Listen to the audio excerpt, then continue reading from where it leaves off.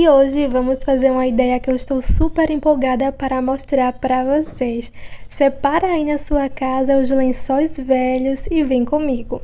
Para iniciar a ideia, vamos precisar de um lençol base. Esse é o lençol ou forro de cama, como você queira chamar, que vai ficar por cima de todos os lençóis, que vai ser a capa do nosso edredom. Ali eu já escolhi, vai ser esse cinza. Aqui no canal eu já gravei mostrando para vocês como, como foi que eu colei essa barra aqui, essa renda em todo ao redor desse lençol.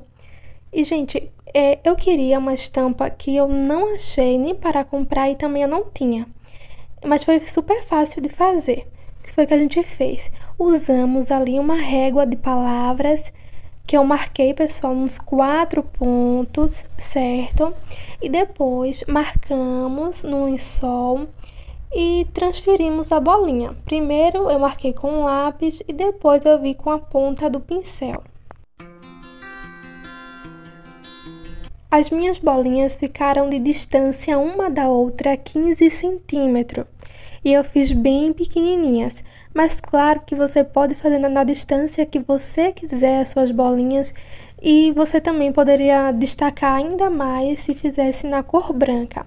Como eu não quis deixar tão destacado, eu fiz as bolinhas na, cor preta. Falando ainda sobre as bolinhas, você também poderia fazer de forma aleatória sem medir, tá bom?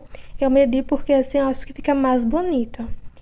Coloquei no chão o meu lençol cinza, coloquei também um lençol é, lilás por cima do cinza, coloquei esse vermelho aí que estava bem velho. E para finalizar, pessoal, eu coloquei esse marrom, tá bom? Para essa ideia, você pode usar qualquer tipo de lençol e de qualquer material.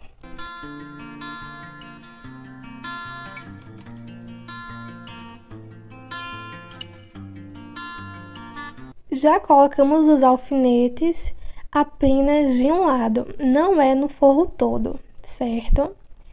Pronto, e vamos começar a costurar. Ali você junta todos os lençóis que você colocou. Você pode fazer, pessoal, com três, com quatro, com cinco lençóis, tá bom? Depende também da grossura do seu lençol.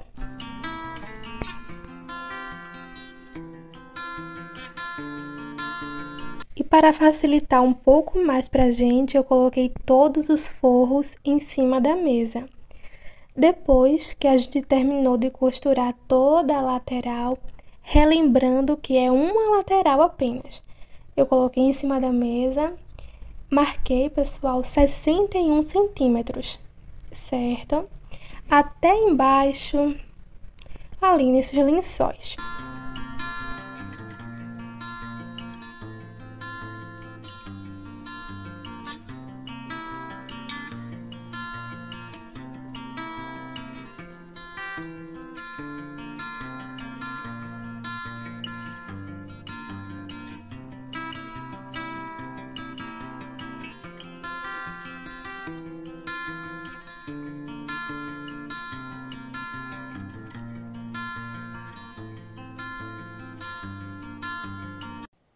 Pronto, já marquei até embaixo.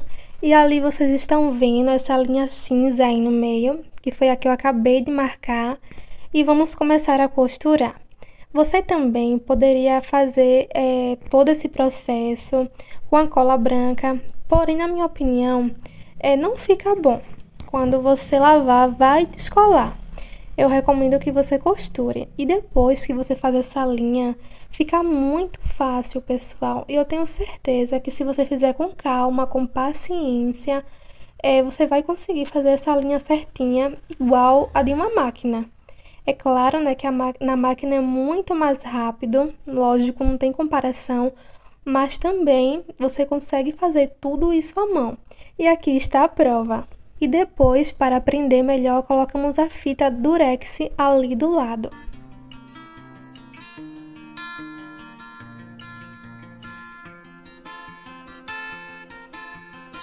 E para essa costura você tem duas opções.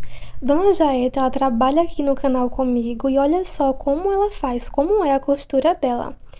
Ela vai, pessoal, com a linha e no mesmo instante ela volta já deixando toda a linha preenchida. E a outra opção é você vir costurando, certo? E olha só, você costura assim, ó.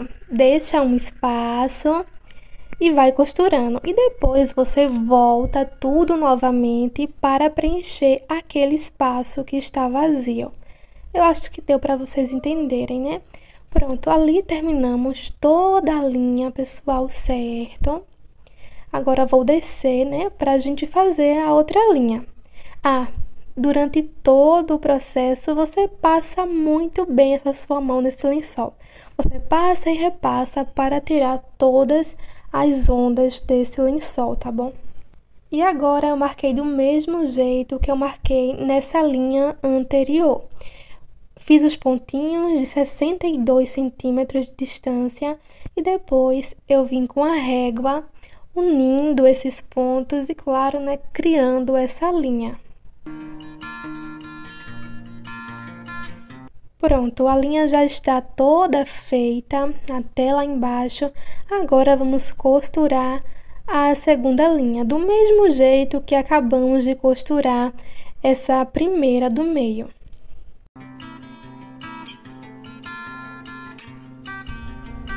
Por aqui já finalizamos a segunda linha, ó, ali eu estou apontando com o dedo. E agora vamos finalizar essa lateral. Você vai puxar novamente, passar bem a sua mão e você vai é, puxar todo o excesso de tecido que tem aí dos panos que você escolheu, certo? Puxa bem mesmo e coloca os alfinetes.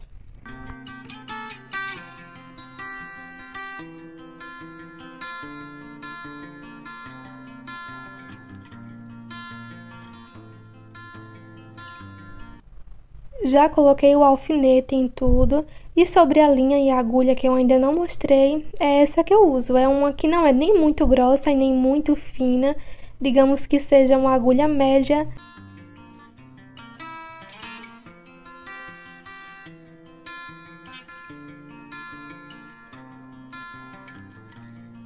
Pronto, já costuramos todo esse essa lateral, certo? Ó, ficou assim desse jeito. E embaixo fica assim, ó. E não precisa ser aqueles pontos minúsculos, não.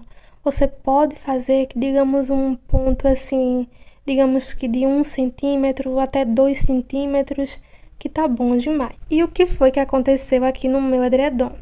Olha só, os lençóis que eu escolhi, infelizmente esse marrom era um pouquinho menor do que esse cinza. Como eu não quis mexer no lençol cinza, eu não quis cortar ele, a única solução foi a gente costurar esse marrom no vermelho. Mas isso daí não foi nenhum problema e no final, na cama, ele não ficou aparecendo. Depois das laterais todas costuradas, Agora vamos fazer, pessoal, as partes finais, tanto a de baixo desse edredom quanto a de cima.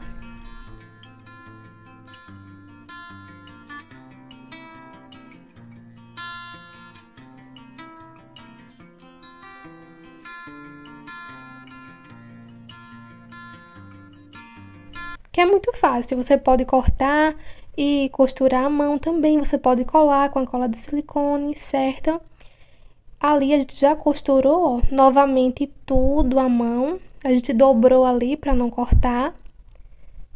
Pronto. Falta apenas só uma lateral. Já temos três laterais finalizadas e agora vamos finalizar a parte de baixo desse edredom. Olha só, eu fiz desse jeito, ó. A gente passou a régua e fez umas costuras, mas não nela toda, e sim em quatro pontos certo? E está pronto o nosso edredom.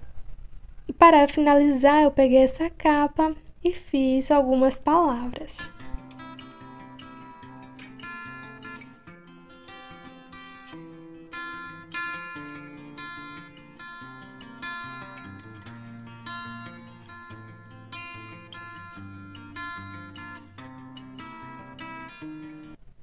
Esse edredom demoramos três dias para fazer, para vocês verem que não é nada assim impossível de você fazer à mão, uma costura à mão, uma costura grande à mão. E eu mostrei bem de pertinho a costura para vocês verem que não ficou nada grotesco, nada feio. Essa é uma ideia muito bacana para você que quer economizar, para você que tem aí muitos lençóis e não sabe o que fazer. E essa foi a ideia de hoje. Espero muito que você tenha gostado. Se você gostou, deixe seu like, comente o que você achou. Um super abraço e até a próxima!